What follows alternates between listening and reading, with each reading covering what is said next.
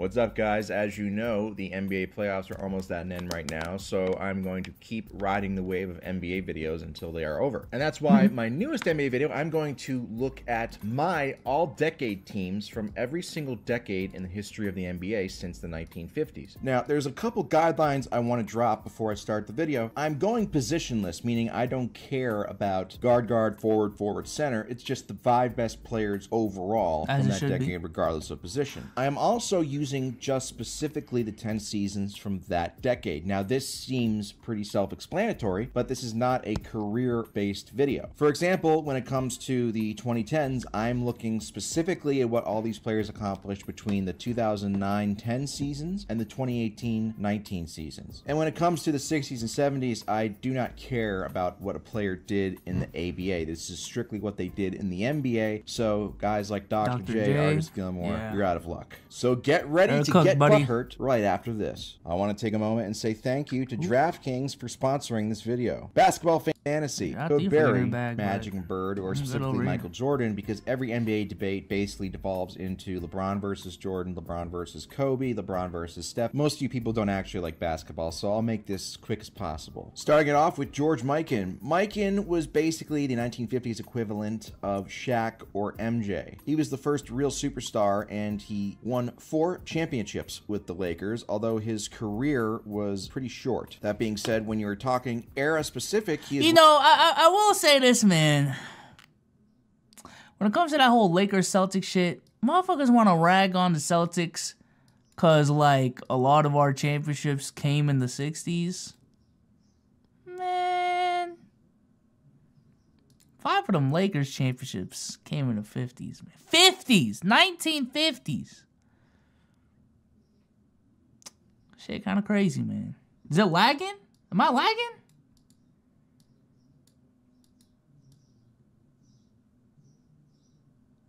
Am I lagging? Jesus Christ. Holy moly. No? Okay, okay. One of the most dominant players in the NBA, even though I think we all know he would probably be Mason Plumlee if he played today. No offense. Bob Cousy. Yes, that's right. The That's a hairy Houdini of the hardwood. And that's- Bob that's Cousy, Worcester's finest was right there. extremely inefficient, never there. shot over 40% in any regular season of his career. Makes this list because, again, this is era specific. Would Cousy be a good player in today's NBA? Of course not. He'd be a lesser version of TJ McConnell. But for his time, he was basically Magic Johnson or Steve Nash, leading the league in assists in each of the last seven seasons of the 1950s. He also won two of his six rings in the 1950s, although he didn't win anything until Bill Russell came along. But no matter what you think of Cousy, you cannot deny that his cameo in Blue Chips was absolutely amazing. Paul Arizin. Yes, that's right. Paul Arizin once led the league in field goal percentage, shooting below Shout out to the 45%. five- He also led 5-0. the league in scoring twice. But more importantly, and I made sure to leave this in there, he voluntarily skipped two seasons of his NBA career in his prime to serve in the Marines. So if you say any negative things about Mr. Arizin in the comments, I will find you. And his playoff numbers outside of 1957 when he was hurt are actually pretty darn good regardless of era, including winning a championship in 1956 with the That shit Philadelphia cool. Warriors. That shit Pitch and cool. Paul had game regardless of era. Dolph Schayes. Much like Bob Cousy and many other players from the 1950s, Dolph Schayes had terrible Yo, I, I will say this about old school basketball. I know this is such a crazy take to say. But I was doing the Jordan challenge in 2K. The first Jordan challenge is UNC versus Georgetown. It wasn't the hardest thing in the world. But let me just say this. Playing basketball where everyone isn't a fucking shooter. Um, and there's no three point line, and everything is just clogged in the paint, and there's no scoreboard. Is is different, bro. I I ain't I ain't gonna lie. It's it's different. It's it's insane. I don't know if y'all got 2K23 in the chat. But yo, Patrick Ewing, cheat code, bro. fucking fucking cheat code, bro. Um and I think in the, the either the 50s or the 60s too, they were much stricter on rules like carrying. So the way that they dribbled, it wasn't even just because the game was so primitive. That's part of it too. It was literally because they were so strict on the carry rule that like Bob Cousy had to dribble like this. You know what I'm saying? Because any motion of like this might have been considered a carry type shit. I don't I don't know, man. Shit shit is just different shooting percentages and would most likely not be relevant in today's era. However, he could score, he could rebound, and he could pass a little bit. He also upped his game in the playoffs. Now, admittedly, it's not that difficult to increase your game efficiency-wise when you're shooting below 40% every single season, but nevertheless, he did so, winning a championship in 1955. He also had the most win shares of any player in the entire decade if you get off on advanced stats like that. Also, his son Danny Schayes played a long time in the NBA, so congrats to Dolph on having sex. And finally, Bob Pettit. Bob Pettit, one of the earliest superstars in the history of the league. The Bombardier from Baton Rouge, as he was known, talks like Foghorn Leghorn, but he had game. Although he would continue to play broken, great right? into the 60s, so it's not just, just the 50s, he had two scoring titles, two MVPs, okay. Uh-huh. and a championship in 1958, which is the only time between 1957 and 1966 that a team. This is this is the 50s chat. So Jerry West is probably going to be in the Russell 60s. was injured in 1958 so some might even dare call Bob Pettit the Steph Curry of his era. My player of the decade? George Mikan. To me, the combination of relative individual dominance and four championships, even though he did not play for basically half the decade, gives him the top spot for me. The 1960s. Wilt Chamberlain. This was a pretty easy choice, as Wilt is one of the greatest players of all time. Won seven scoring This is titles, just first team, right? rebounding titles, and a championship, as well as four MVPs. He also somehow avoided any paternity maternity suits, despite. If if it's positionalist for the '60s, I'll probably go Bill, Wilt, Jerry, Oscar, Elgin. I feel like I'm missing a name though. I think that would be my five. I think that'd be my five having sexual relations at least 50 times a day in between games. Perhaps if he was focused more on playing instead of laying, he might have won more championships. But despite that, crazy and numbers. the misfortune of having to go up against the Dynasty Celtics, Chamberlain's individual dominance is so extreme that he's one of the few players that everybody pretty much unanimously agrees would translate to the current era because he was arguably. My thing is, how did he not lead the league in minutes, averaging 48.7 points a game? Who was averaging more than 48.7 points a game, bro? Holy the greatest athlete in the history of not just the NBA, but I know it's the playoffs, sports. but damn. Oscar Robertson, the Big O, was incredible. He is most famous for averaging a triple double, which Russell Westbrook has basically made irrelevant now, but for a long time it was very important. He was extremely efficient, especially for a guard in his era. He won seven assist titles in the 60s and a scoring title, as well as an MVP in 1964. The one issue with Oscar the Grouch, as he was known, is that he really did didn't have as much team success as you would expect, even considering that he was playing in an era with Russell and Wilt. Did I say something else? Did I say point? I was I was thinking minutes in my head. I was thinking minutes in my head. Maybe that yeah, my my bad. My bad, gang. My I, I, I was literally saying that sentence with minutes in my head. I ain't that dumb. Jesus Christ. Jeez.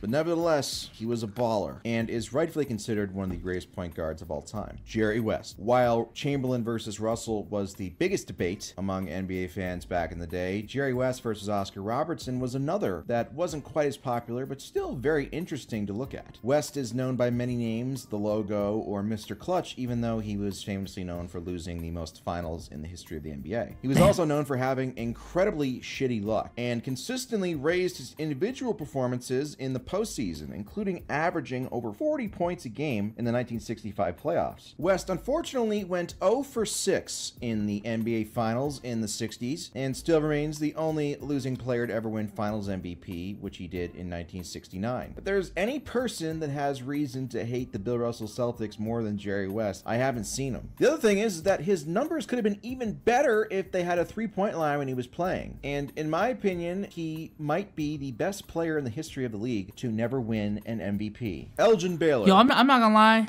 It is. I, I kid you not. If there is one thing hella interesting about like rewatching this sport, watching 60s basketball is so fucking interesting, bro. It it can be boring. Cause a lot, cause essentially, just imagine watching like, it's not even about the era. I think it's just basketball. Like even today, imagine watching the Hornets versus Pistons on a ra- uh, random Wednesday night. That that's just boring. You know what I'm saying? For the most part. Now, if the game was crazy, the game was crazy. But just in general, like basketball right now can be boring. You know what I'm saying? And, and these games in the past were not different uh, from that aspect. But some people, I feel like a lot of y'all in chat have this perception as well. Y'all think 60s basketball just because it was black, uh, black and white and because it was from uh, 60 years ago was slow paced, no skill at all, no flash to the game. When I saw some of the moves Bob Cousy was pulling off, I was like, yo, hold on, what the what what? What the fuck? Like I saw some of the shots Jerry West was taking. And I was like, I ain't gonna lie, this is what confuses me about basketball without a three point line. Why would you shoot that far out when like it's just worth two points? You know what I'm saying? I, what I do want to do uh, this summer with y'all is watch full games, watch full retro games. Cannot do it on YouTube. I'll probably do it on Kick though. I'll probably do it on Kick.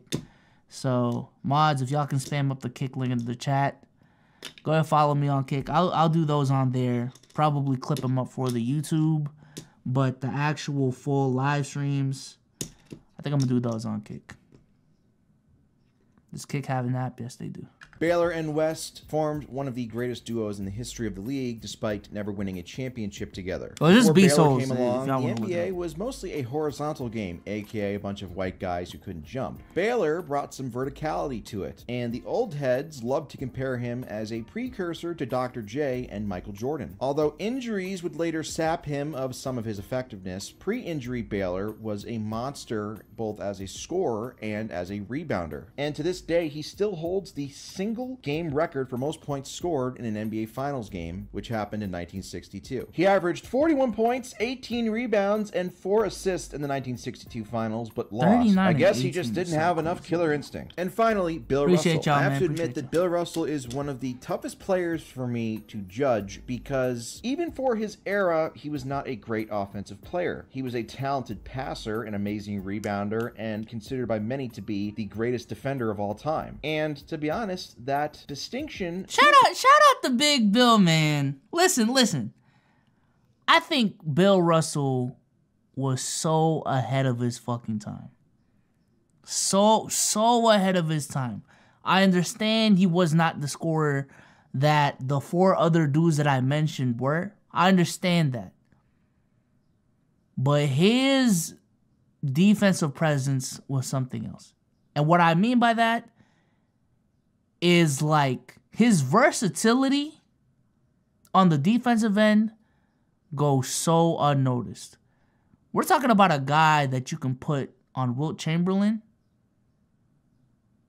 and he can also switch on a Elgin Baylor and on a Jerry West and, hell, and hold his own like pretty fucking well. You know what I'm saying? Um, on the offensive end, I we're you know we're we're watching the finals right now. We're seeing a lot of Jokic bringing bringing the ball up. I wouldn't say like Bill Russell was doing that routinely, but he did that a decent amount, a lot more than you think. initiating fast breaks. You know, like the fast break, w- w- from my understanding, wasn't even a concept until the 1960 Celtics really popularized it. And Bill Russell was like the initiator of those fast breaks. So like what what what we're seeing from a Jokic right now, from a Kevin Love, um, you know, later down in this era, like a Wes Unseld, like Bill Russell was a forefront leader in that. Again, chat, correct me if I'm wrong, but literally the concept of blo- uh, jumping to block shots was not a thing until Bill Russell came along. I understand you can look at that, hey, that, you know, that just shows how trash the game was back then. I guess. But I think that just gives credence to how advanced Bill Russell was for that time. And I don't know, man. The the, the playmaking too. The playmaking was was low key, uh, you know, was underrated. The Celtics ran a lot of uh dribble handoff action back then. Head of time, man. Head of his time. To have some merit once you RIP. look at how he dominated defensive win shares and how amazing his Celtics teams always were defensively relative to their era. Also, before he goes forward, he was, in my opinion, the original Tim Duncan. In terms of, I truly think Bill Russell had the capabilities to average more points than he did. I think he had the capability to average 25, 26 a game if he really wanted to. And th- you can you can look up interviews of Wilt Chamberlain talking about him versus Bill Russell as well, and this is what he'll attribute Bill Russell to. Is that because of how Bill Russell played basketball, and I said the same thing about Jimmy. Jimmy plays basketball in a way that's so unselfish that it allows the Max Struses, the Gabe Vincents, the Duncan Robinsons of the world to step up and the whole team becomes more dangerous. Bill Russell was the exact same way. If Bill Russell played like Wilt Chamberlain and just went for 50 a game, I'm pretty sure he can come come close to it. Maybe 38 40. But it was because of the way that he played basketball that allowed a Sam Jones to succeed, allowed a Tom Heinsohn to succeed. You know what I'm saying? Allowed a Bob Cousy to succeed. You know? Shit like that. And things of that nature.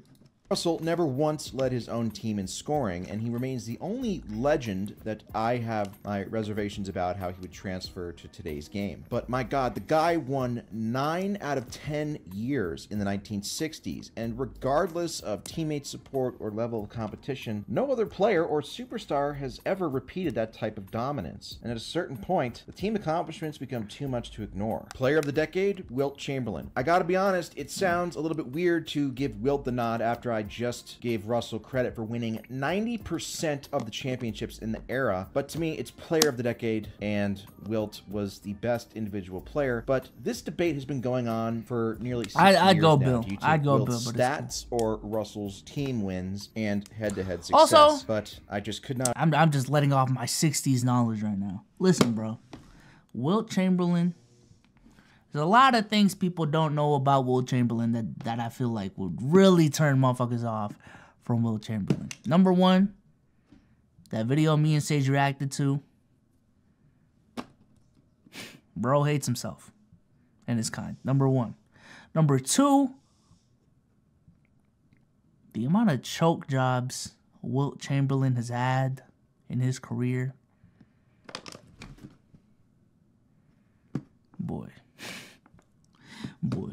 There's this perception, there is this pers- perception that the 60 Celtics were just so talented with all these Hall of Famers that they were just unbeatable every single year.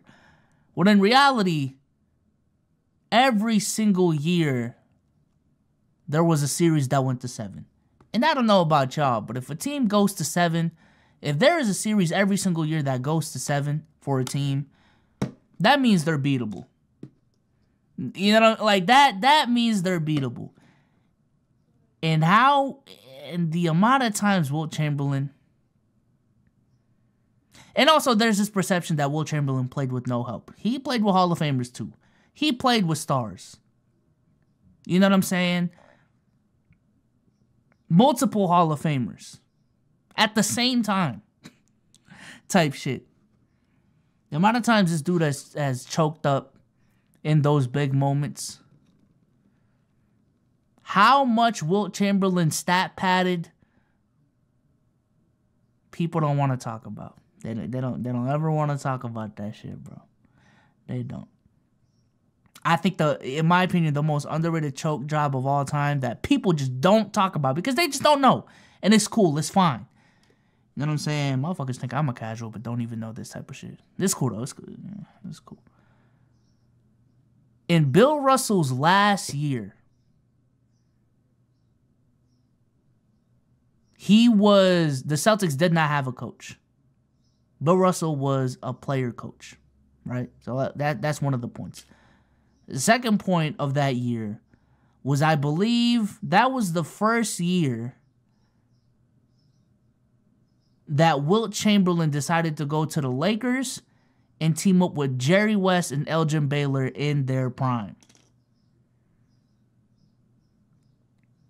So we're talking about Bill Russell in the last year of his career going up against the other player, two of the top was that three three of the top five players of the decade teamed up to beat the Celtics. Had a 3 2 lead. Game seven at home. And couldn't get it done. Yo, I'm, I'm just, if something like that happened in today's NBA, we would not hear the end of it. But because this dude averaged 50 points a game in a season, because this dude averaged, you know what I'm saying, like a hundred, uh, not not because he put up a hundred points in a game, because he has all of these individual statistical records, people hold him to like, and, rightfully so. I don't blame people. People hold him to like this extremely high standard. Well, in reality, Wilt Chamberlain actually underachieved. I'm gonna keep it a bean.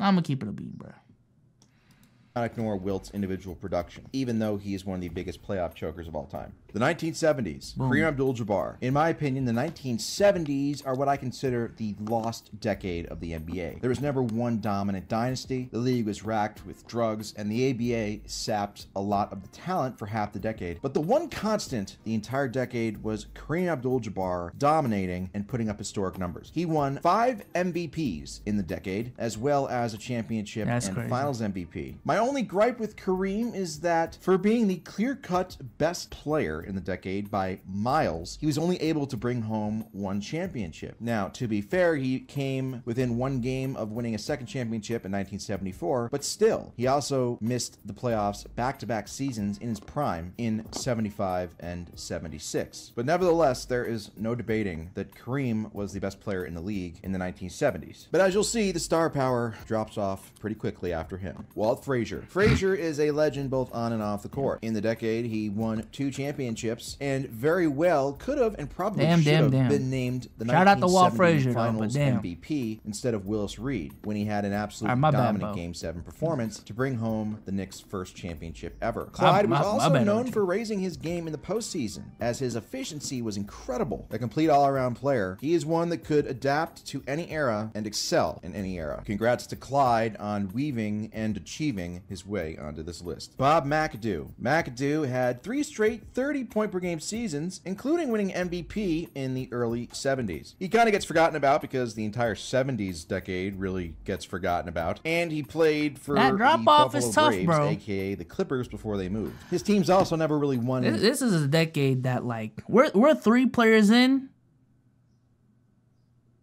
Two, if you make a top 50 list, this is just my assumption. These are players like in the back half of that list if they're even in it. That's tough right there, bro. That's tough anything with him in charge, but the guy could score the basketball. And people who saw him play compare him to Kevin Durant for what it's worth, minus the emotional threshold of a teenage girl. Bob Lanier. To me, Lanier is one of the most underrated players in the history of the league. He was a consistent 20, 25 point Damn. per game scorer That's well the a great 70s? rebounder and a capable passer. Really, the guy just did everything well. Unfortunately, his teams This the yo chat. This the set. I ain't gonna lie. Sixties over the seventies, man. That if that's the hot take of the week. Nineteen. The sixties are are to me a much more interesting era than the seventies, bro.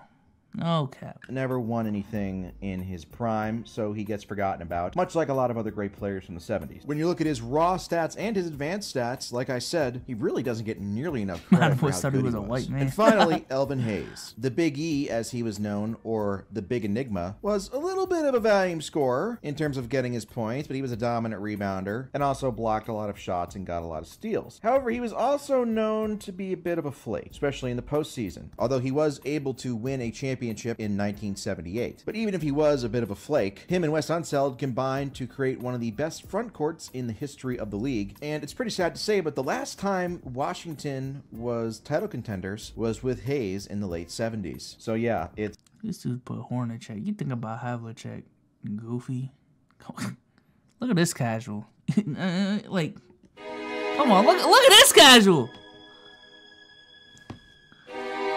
I got the Trey Rag soundboard though. It's been a long. Yo, chat is going crazy. What the fuck? Wizards slash Bullets fans, and I just Oh realized how much of a missed opportunity it was that Gilbert Arenas didn't play for Washington when they were named the Bullets. Player of the decade, Kareem Abdul-Jabbar. Like I said, my only gripe is that he could have won a couple more championships, but there's no debate here. The 1980s, Magic Johnson, famous condom hater Magic Johnson, also Look used to be right very, very good at basketball before he became oh, a Oh, shit. legendary tweeter. In the 1980s, he won three MVPs, although they were kind of questionable, as well as five championships and three finals MVPs. He also missed the finals just two times in 10 years during the decade, and his presence All right, along let, let's let's do predictions going into the '80s. Magic, Bird, obviously. I'd put Isiah Thomas in there. Kareem.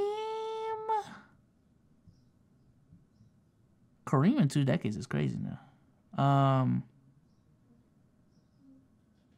if it's the '80s. honestly, I, I, is the '80s too soon for Jordan? Nah, cause I, I'm thinking about Michael Jordan and Akeem right now. I do, I do know they came in the '84-'85 season. So was what they did in a five-year time span more impressive than I don't know what what Kareem did during this era? I I think someone even put um what you call it Al- Alex English, Moses Malone. Mo- Mo- Moses would probably be in there. With Larry Bird was a big reason why the NBA soared in popularity after the nightmarish PR decade of the 1970s, when finals games were on tape delay. Larry Bird. You can't really talk about Magic Larry Johnson or Larry Bird. Bird or vice versa without mentioning the other pretty quickly, as their legacies are intertwined as they entered the league together in the same year in 1980, met three times in the finals, and exchanged MVPs and championships for basically the entire decade. Really not much I can say about Bird that you already don't know. He came in, had an immediate impact on the Celtics, and his three-year stretch in the mid-80s when he won three straight MVPs, as well as two of his three championships, is one of the best stretches by any player in the history of the league. As I've said before in previous You know, if, if there's one thing I don't get about Bird, and I don't want to keep beating a dead horse, every time people um bring up those top five shooters of all time pictures, and Bird isn't in there, everyone in the replies go to answer on who is missing from this list is always Larry Bird, bro. And I just don't get it. Like I'm, I'm being so like, how can you look at a player who, for some playoff runs, didn't even average one three a game, and say he's a better shooter than a lot of dudes? And like, come, I don't know, bro. I can't. I can't. It like if 86 is his best playoff um shoot, three point shooting run. I look at looking at the rest. That's an anomaly, bro. I don't know. previous videos of mine, I I think know, Bird's man. playoff career gets a little bit overrated as Because at that point, if we're thinking about shooting from like you know the dribble pull up angle, the mid range, you know, that type of shit, then that's a whole different conversation. You know what I'm like? I'm, I'm putting Kobe in that that list. I'm putting Kyrie in that list. If that's Jesus Christ, chat is going crazy again. But like, if if that's what we're doing, if it's about who are the best shooters of all time from all aspects of perimeter shooting, that's a whole different conversation. I don't know, man only had a couple truly legendary postseason runs compared to his reputation, but still, you can't talk about the 80s NBA without Larry Bird. And if he wasn't so inclined to pave his mother's driveway, maybe he would have ended up I understand he's a he's a good shooter for instead of retiring early because of back problems. Michael Jordan. Believe it or not, there was a time when Michael Jordan wasn't winning championships every single season, and he was considered to be a ball hog who was a great individual player that you could never win with because he wasn't an all around player like Magic and Bird. It's ironic because a lot of MJ's best individual seasons came in the 80s before he won any championships, as I alluded to. But still, even though MJ wasn't winning rings Y'all yet, see those numbers, chat, he actually played against great teams as opposed to the dogs shit he was facing shit. in the 90s, he still was able to win three scoring titles, oh, an MVP, yeah. Defensive Player of the Year. Chad, do y'all see these numbers? Oh my, you know. It's so easy to forget why people think Michael Jordan is the GOAT. And then you just look at his numbers, the runs he had, his accolades as a whole, his impact on the game, consistency, the advanced stats. And you're just like, damn, okay, okay okay, he's in this conversation for a reason. You know, like, god damn, bro and also had some memorable moments in the postseason, such as his 63 point game versus the Celtics in 1986 after missing most of the season with a broken foot. Luckily for Michael, he wasn't born a couple years earlier and he wouldn't have to face the Showtime Lakers or the Bird Celtics or the Bad Boy Pistons more this than is he did. Insane but the 80s proved up, that Jordan was a great player regardless of situation, as well as one of the greatest athletes and fun to watch players that we've ever seen. What I just this? wish that his fans were a little bit more self aware when they give excuses for Jordan losing in the 80s while tearing down other certain players for losing series where they put up amazing numbers against far superior teams. Moses Malone. Moses had one of the most interesting careers of any all time great. He played for a bunch of teams, including four in the decade of the that last spot got to be Hakeem or Kareem, though. I don't know who I'd get. Oh, no, no, no. He doesn't have Isiah in this list. I'd put Isiah on this list, bro. So right now he has Magic, Larry, Michael Moses. You gotta put Isiah in this list, bro. No, no way. No way. Because Isiah definitely wasn't the 1990s. Definitely wasn't like if if we're talking about Isiah, it has to be the 80s. Isiah got to be on here, man. While also winning two MVPs, a championship, and a finals MVP early on in the decade. I do have some reservations about how he would translate to later eras, as he wasn't a great passer and a bit slow footed defensively. But he was a man of his time, and there's no doubt that he took full advantage of it. Hey, no, no spoilers, bro. I'm looking this way now. Game ever saw Kareem Abdul-Jabbar. Kareem's ah Lee. Ah, that's where I disagree like crazy. That's where I disagree. Maybe I let me let me see what Big Reem was doing in this era for. Also, side note the vibes with the the light in the background. I, I like this right here. Let me see what Big Reem was doing in this era, bro. Big Reem. So he's saying from 80. Okay, so he did play the whole decade number one. We're talking about I can't even say 10, 20 and 8. 20 and 8 for the whole era on what looks like crazy efficiency. Yeah, that that's that's crazy efficiency. Um great shot blocker for the whole, you know, the whole time.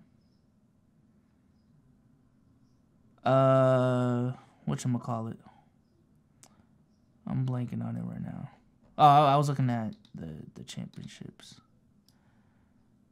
I oh he got five rings in this this time. I I'd, I'd give I'd give the edge to Kareem. I'd give the edge to Kareem over Hakeem. I'm a, I'm gonna keep it a bean, and maybe I'm crazy for this. If I were to bounce bounce out one person in this era, it would probably be Mike. It would probably be Mike.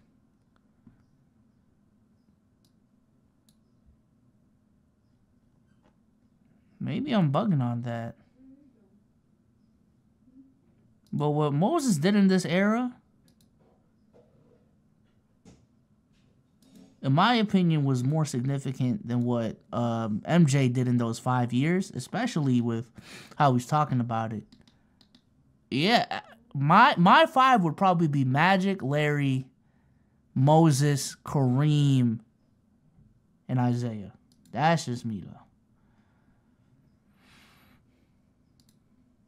Decade in the 80s wasn't nearly as dominant individually as he was in the 70s, but he was still able to squeak in another MVP, a finals MVP, and win five of his six rings. I do love how basically after 1981, he just decided to give up rebounding for good. And I do find it interesting that the first decade of his career, he won five of his six MVPs and one of his six rings. And in the second decade of his career, he won five of his rings and only one of his six MVPs. Just a little something to consider when ranking him all time, which I consider consider him to be a top three player ever. And the fact that he was still averaging about 23 points a game and 26 points per game in the playoffs at age 38 says a lot about his greatness. I do want to quickly point out that at age 38, he had about 10,000 fewer career minutes played in the league than LeBron does at 38. So for the LeBron haters seeing this video, just some more context for you to consider. Player of the decade, Magic Johnson. Ass. Some people would say it should be tied between Magic and Bird, but I give Magic the edge because I think he was a more consistent postseason and finals performer than Bird was. Johnson was so good at basketball that he has the best porn name of all time and is also famous for having HIV, and people don't even connect the two. The 1990s, aka the most overrated decade of any sport in sports history. Michael Jordan. Oh, you pretty much know all of MJ's accomplishments in the 1990s by now. Six rings, six finals MVPs, four MVPs, a bunch of scoring titles. Like, look at this run, bro.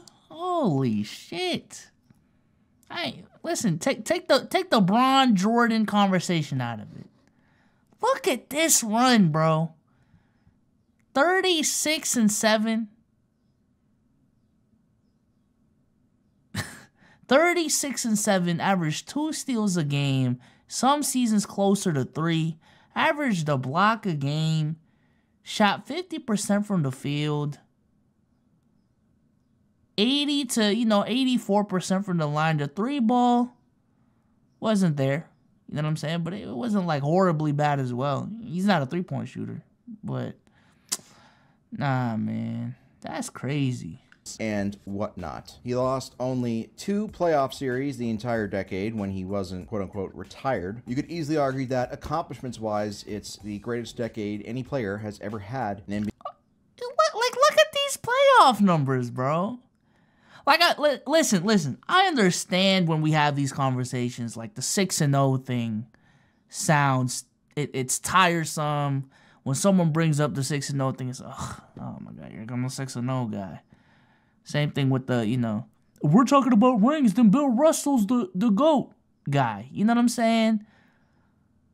But six, six, six of them bitches. This on six fingers. Like, like for real, for real. Just, just let it settle in. Six rings we we we see how tough it is for teams to make one finals appearance. This dude led the Chicago Bulls to six finals appearances in one decade. Never lost and three-peated twice? Like come on, man. Come on, man. Like sometimes we get lost in the sauce in these conversations.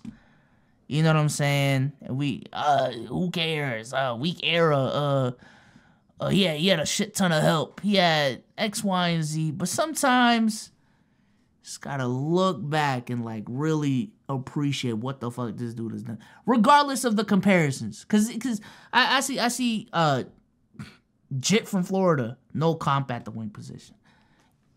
again, just don't even look at, don't compare him to other people. If you can agree that 1990s basketball at the very least isn't a plumber era, don't don't think about the GOAT conversation right now. Don't don't think about what the resume looks like in comparison to a LeBron James, in comparison to a Steph Curry, to a Kobe Bryant. That that's a that's a crazy thing to do. That's an insane thing to do, man. Not too much on Jay.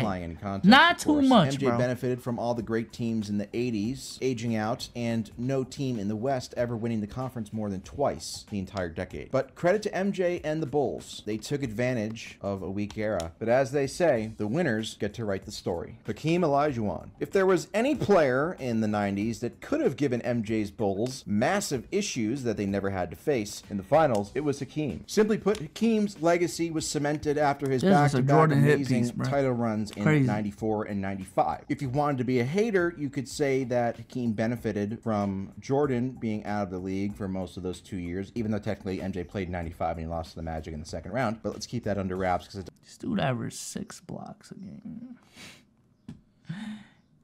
This this dude averaged 26, 14, 5, 2, and 5 on 50 for 12 games. For 12 games?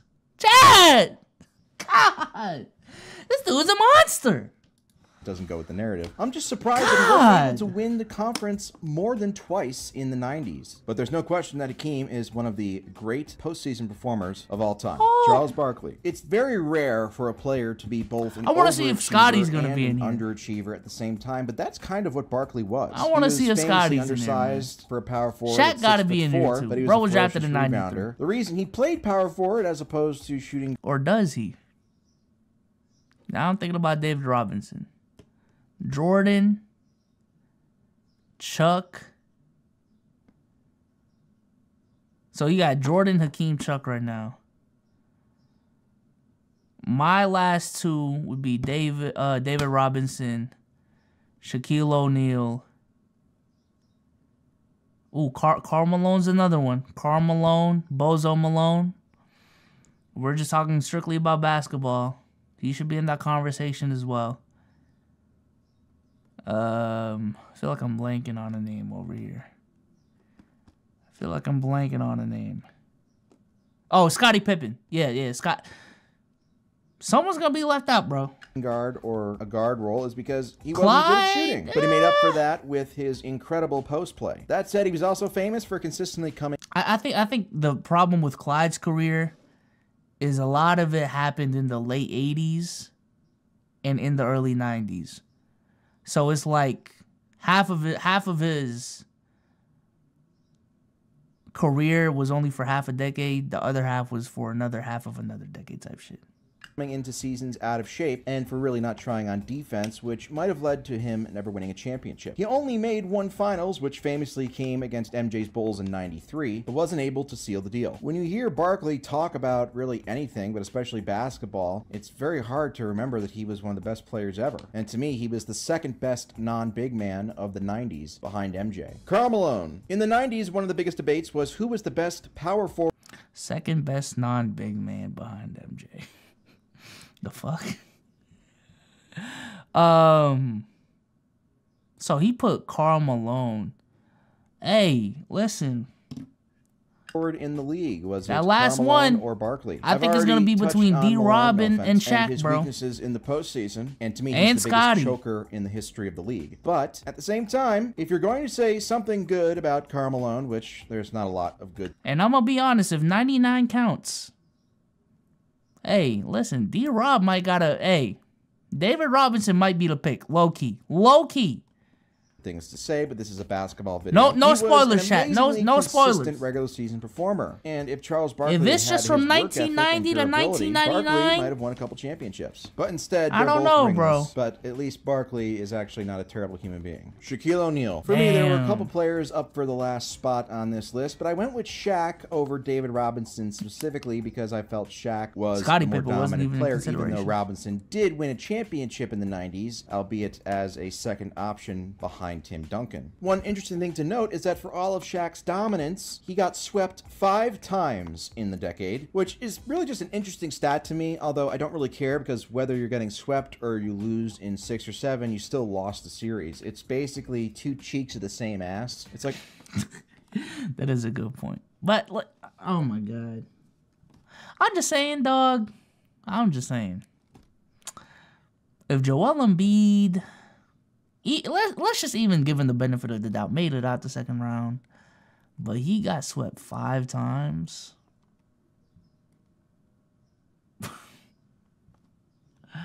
Holy, bro. Jeez Louise. What you mean I want to talk about the Celtics? I don't want to talk about the Celtics right now.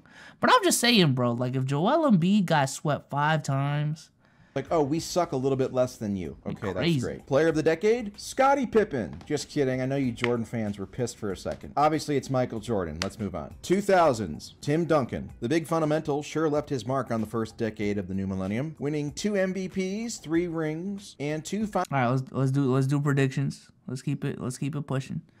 Tim, Kobe, Shaq got to be up there, even though the the later half of the decade wasn't really wasn't really strong.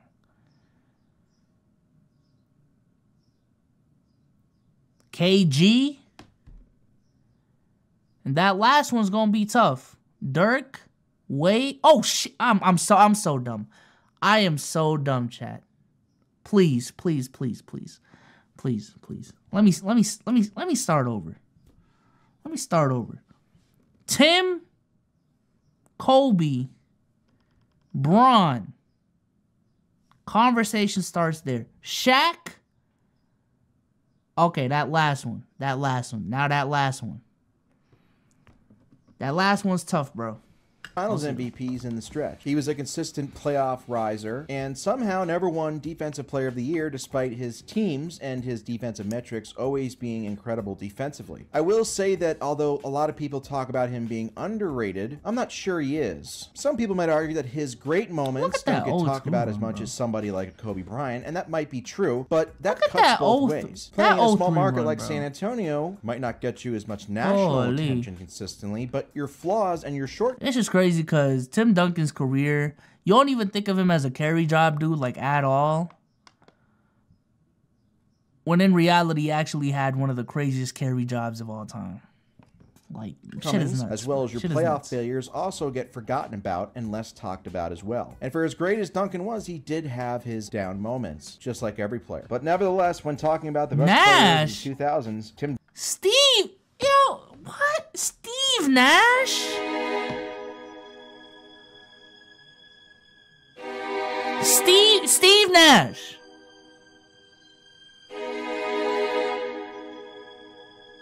In the most talented era from a superstar level of all time. We're talking about motherfuckers that won rings. At this point. At this point, a finals appearance is mandatory.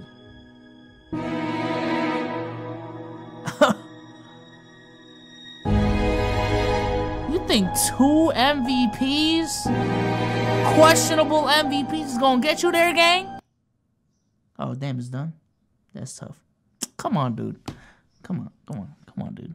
Duncan better be one of the very first names out of your mouth. Kobe Bryant. Kobe Steve is also Nash. one of the toughest players to rank all time because he was great for most of his career, but not always, and he was a sidekick for the majority of his rings. Yet he also later won championships as the best player. So there's a lot of context needs to be applied. But B, there's man. no debate that Kobe is one of the best players of all time, and his best seasons came in the 2000s, so that's why he's here. Duh. He won four championships, an MVP, and a Finals MVP in the decade, as well as some of the most famous scoring exploits in the history of the game, including an 81 point game against Toronto in 2006. Stylistically, he was a carbon copy of Michael Jordan with amazing skill and technical abilities. My biggest gripe with Kobe as a player is that he wasn't a consistently great finals performer relative to his gargantuan standards, but his consistency mm, and longevity makes him a must add to any conversation about the greatest players of all time, specifically this decade. LeBron James. Because it's LeBron and a lot of people hate LeBron. They're probably going to say, why is he on this list? He didn't start winning championships until the 2010s. And for that, I say, go fuck yourself. 2000s LeBron is basically the equivalent of 1980s Michael Jordan. Incredible Yeah. stats, freakish athleticism, an MVP, and no rings. But to me, the individual production on a per game level The in both the regular saying, and mentioned postseason was too much for him to be left off. Shaquille O'Neal. Shaq makes this list based off of the first three years of the decade, where he Okay. had arguably the most dominant three-year stretch in the history of the league, and won three straight championships and three straight Finals MVPs, as well as a league MVP. Of course, as we all know with Shaq, he pretty much fell off during the second half of the decade, but I need, I need I need predictions. So my first four was his first four. That last spot, KG, Dirk, Wade. Who else? Who else? KG, Dirk, Wade, T Mac. Fuck out of here. J Kidd, that you know, J J Kidd in there. I personally, personally, I'm a Let's big. get it. Hop off a Hey, six, shout out to ain't Eli, man. This a G5, no, this not a challenger. Big one. Why don't more teams try to have a Kobe slash Shaq egos aside? try to have a Kobe, Shaq, egos. is- What? Wait, what does that, what does that mean? What does that mean? I, I don't I don't know what that means, Eli. If you can clarify in the chat. I listen. I'm I'm more so of a KG guy. So I'm gonna go KG, Kevin Wayne Garnett. Probably go Dirk next, and then Wade. KG Shaq duo. KG Shaq duo. Um I don't I don't think it's a matter of want. It's more so a matter of can you get, you know, that that type of combination. To have a two-way shot creator like a Kobe Bryant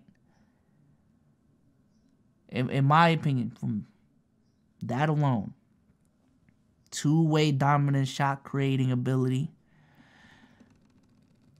We're talking about you know a, a Jayson Tatum type of guy, type shit. Pairing him up with a, a center that's extremely dominant in the post with a crazy post game that can control the pace of the game and be a great shot blocker.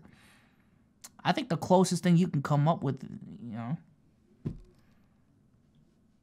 probably be like Tatum and Embiid on the same team. Like how how hard is it to get a duo like that? Like it, it's extremely hard. You know what I'm saying? Who yo yo chat? eh, Who do you want me to say, bro? Who do you want me to say? Three level scorer, two way player that can shot create, have a crazy bag. Who do you want me to say, bro? D Book. Not not enough defense from Devin Booker. Sorry to tell you. Kawhi Leonard, not healthy enough. Next person. From a talent perspective, it'd probably be Kawhi. I ain't gonna lie. Um, come on, dude. This ain't this ain't Tatum dick suck.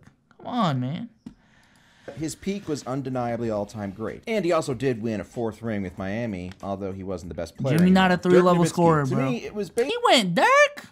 I guess. I This could be a toss up between Dirk and KG, but I decided to go with Dirk because I felt he was a more consistent postseason performer Brandon than Garnett Ingram. was. Even though Garnett Alright, did bro. win a championship in the decade while Dirk didn't, although we all know that KG needed to go to a super team in Boston to finally get it done. I think you could certainly argue that Garnett was more all around skilled and talented than Dirk was, but at a certain point, production matters. And KG's postseason career with the Timberwolves was underwhelming, even considering the relative lack of talent that he had around him. Their resumes are extremely similar, and again, it is a toss up, but I just went with the guy who I would trust in bigger moments more. I- I and that is feel- I- I'm- I'm not mad at it. decade, I'm not Tim mad. Duncan. Now, this is kind of hard to explain because I have Kobe ahead of Duncan all time by a hair, but this is where the criteria that I had about specifically just this 10 year window and 75% of Kobe's rings, three out of four, he was the second best player on his own team, whereas Duncan was the clear cut best player really for all three of his rings, even though Tony Parker did win finals MVP in 2007. Either way, Duncan had more rings as the best player on his team in the decade, as well as more finals MVPs and more MVPs. But again, I can certainly see an argument for Kobe. It's simply a little bit of bad luck for Kobe, as if you included the 2010 championship, which just missed my cutoff rule by one year, I would have given Kobe the edge. But as it stands, Duncan edges out Kobe for I'm the best player of the Tim. I'm not 2000s in my mind. 2010s, LeBron James. During the decade, LeBron won three rings, three finals MVPs, and three MVPs. And if it wasn't for some bad time injuries, like Kyrie getting hurt in 2015 and Kevin Durant joining the Warriors, who just won 73 games, there would be no argument about who the best player ever is, but I digress. That's not what this video is about. Honestly, 2018 might have been LeBron's most impressive accomplishment, even though it ended without a ring, as he dragged a absolutely abysmal Cleveland Cavaliers team to the finals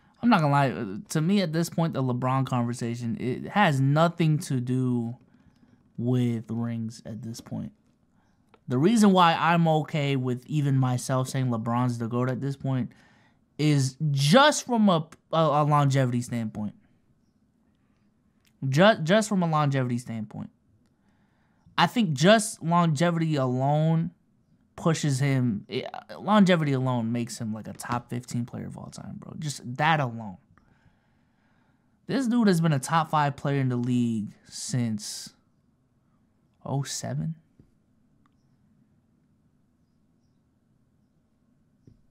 like that his longevity is just fucking insane bro his ability to adapt through different decades and different eras is insane different teams different coaching styles insane. You know what I'm saying? Good solo squad, great help defender. I don't even want to, you know what I'm saying, go crazy with the Gok, but and should have won game one against the most talented team ever assembled. But again, I digress. I'm trying not to get angry here. Nevertheless, if you don't think LeBron was the best player of the decade, while simultaneously holding him to higher standards than anybody else, you're a moron. Kevin Durant. While KD's all time legacy is hotly debated, there's no doubt that regardless of how you might feel about him personally, on his move to Golden State, he is one of the best players of all time and easily one of the best players of the 2010. He won an MVP and four scoring titles during the decade. He led OKC to a finals appearance in 2012. And yes, he did technically win two rings and two finals MVPs with unbelievable numbers in 2017. this dude, he shot 56, 44, 89. That, when we talk about filler years, bro, and people just knowing it's a filler year from start to finish, it was 2017. Now, I will say, it was a great filler year. There was a lot of great basketball being played. You know what I'm saying? That was peak John Wall, peak Isaiah Thomas, um, peak Russell Westbrook. James Harden was going crazy. You know what I'm saying? That was last year of, of Spurs Kawhi Leonard. There was a lot of cool storylines going on in the season. So it was a good filler episode, is what I'm saying. Good, good filler episode. But filler year, bro. Fill, filler year. Wasted a year of everyone's time, bro. The Christmas game was crazy too.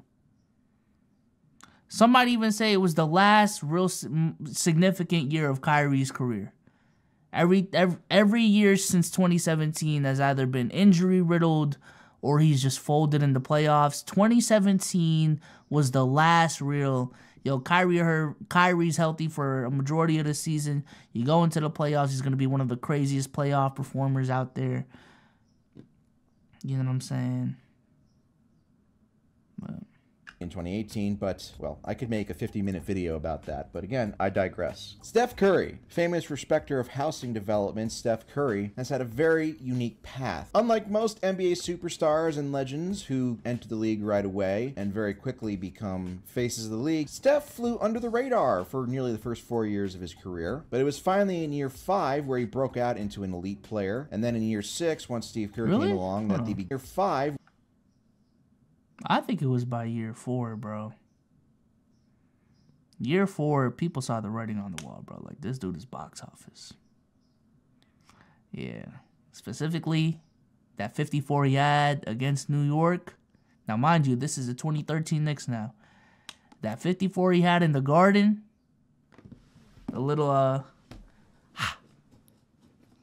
That shit was cold, bro. where he broke out into an elite player. And then in year six, once Steve Kerr came along, that the beginning of the Warriors quote unquote dynasty began. As I've gone into detail about a lot of other videos, Steph has had plenty of luck along the way, but there is just no debating that this guy completely warps the court more than any other player ever with his supernatural shooting ability. Even after his slow first half of the decade, he still finished the 10 year run with three championships, two MVPs, including his magical 2016 regular season, which is arguably the greatest offensive season any player has ever had. Arguably. He also famously blew a 3 win lead in the finals, but again, I digress. I'm not supposed to be talking about that, but I can't help myself because at my heart, I am a shitposter. Because of his unbelievable shooting ability, you could make the argument that if there was an all time draft and you could draft any player ever at their very best, Steph might be one of the top three or four players off the list. With that being said, there is no doubt that his legacy does take a hit to anybody having a good faith argument by recruiting Durant at his peak. Had Steph still Let me let me ask y'all this, man.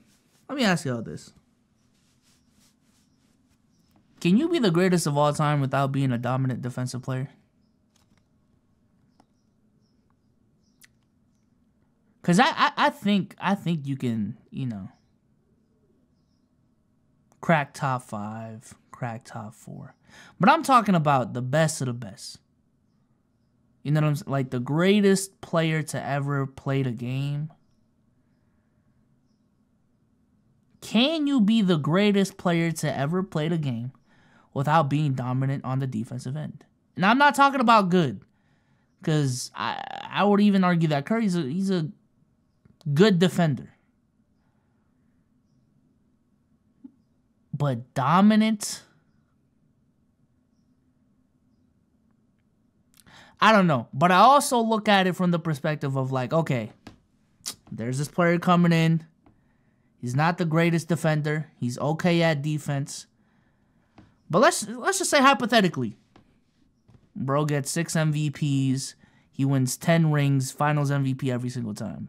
At that point, it's like okay, I understand like the defense ain't there, but like, come on, dog, 10, 10 rings, ten Finals MVPs, and and six regular season MVPs. Ah, I don't know. I don't know. I don't know, man. The the closest thing, and shout out to Drake. get it. Hop off a Shout out to 16 Eli for passenger. the This a five. G5. No, this not a challenger. Big one. Shout out to Eli for the five. And I think like Drake Drake Vic in the chat brings up like the closest thing to that is Bill Russell. It's kind of like the inverse of like offensively he's not there, but his defense is so great and his accolades are so great. You know, like can he be in that conversation? In my opinion, he's not my goat. He's not a lot of people's goat, but I think Bill Russell is in that conversation. I, I think he is. I think he is. Now with Curry, I just don't think the accolades are there for us to even start those conversations. But it's you know just a curious question that I got. won those two championships in 2017 and 2018 without Durant, which was certainly possible considering how great Golden State already was. I think there would be a lot less toxicity around where he ranks all time. Chris Paul. After the top three of LeBron, KD, and Steph, it becomes a little challenging actually to choose the rest of the five. But to me, Chris Paul's consistency in the regular season was just too much to ignore, despite the fact that I've gone on record talking about how 100%. much of a disappointment he usually Chris is Paul in the postseason. You could That's make not a bad argument pick. that regular season only, you could argue that only Magic Johnson is better than CP3. And I want to say in this scenario, So so to fill out the rest, I'm thinking I'm thinking Harden. No, I mean y'all saying CP zero, but like name names. CP3 is not a bad pick, yo. Not too much on Chris Paul. I hate it when y'all do this with Chris Paul, bro. Jesus Christ. Not too much on CP3, bro. I'm thinking Harden. I'm thinking Westbrook. I'm thinking Kawhi Leonard. And I'm gonna be honest, from the start of the decade to the end of the decade, I'm fine with Chris Paul there. I'm fine. Dwyane Wade, nah. I, the individual dominance just wasn't there in the 2010s, post 2012. To be honest with you, AD it doesn't include 2020. So AD AD is out of here. I'm gonna go. Hmm.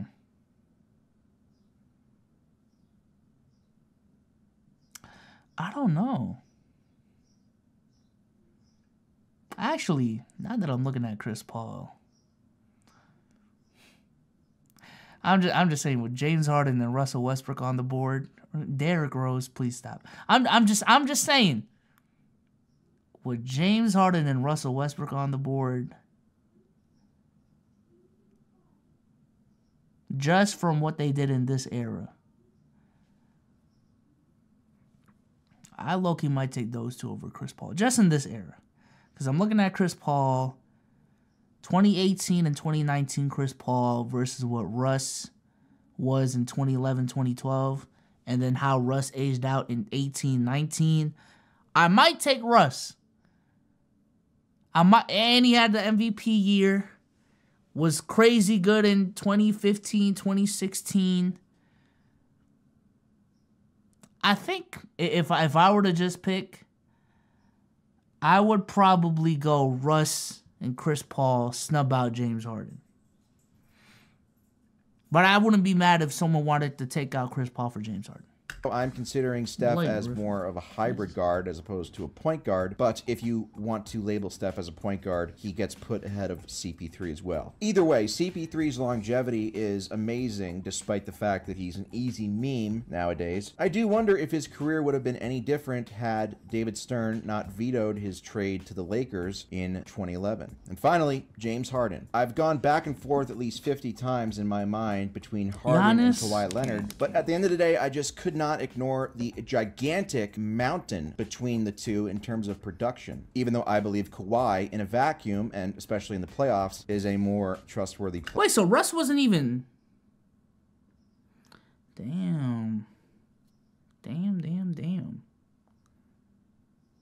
It was between Kawhi with him? Damn, damn, damn. Player than Harden, who's one of the biggest. Where's. Russ? That being said, Where's Harden the in regular Brody? season, especially during his time with Houston, is one of the best players the game has ever seen. Whereas Kawhi really didn't take off as an individual superstar player until his fifth or sixth season. You know what? I'm ranting a little bit here. Again, simple argument: Kawhi, a better big game performer, but just not nearly enough sample size compared to Harden to earn the final nod. Player of the decade: LeBron James. Now, I know some of you are going to try and be smart asses and say, "Oh well, Steph Curry should probably be of the decade," but anybody who's honest with themselves knows that the easy answer is LeBron. As I said before, three rings, three MVPs, three finals MVPs, and a ridiculous eight straight finals appearances in the decade gives King James the crown. Yeah, I'm I'm gonna go LeBron as well. Just cause what Curry was doing from like 11 to 14, and what LeBron was doing at that same time was leaps and bounds, right? And then even when Curry came into the scene, LeBron was still like best in the world level. So it's like, what the what what the fuck are we arguing about? Like for real, for real. You know what I'm saying? So it's LeBron easy for me. I think Russell Westbrook got snubbed big time in these. Just not even the mention is crazy. Hey, shout out to Barry by the way, but not even the mention is crazy. Um, I think Isiah Thomas got snubbed in the '80s. Shout out to Isiah Thomas. Um, and then in the 2000s, I personally would have picked KG, but picking Dirk, ah, I ain't mad at it. I ain't mad at it.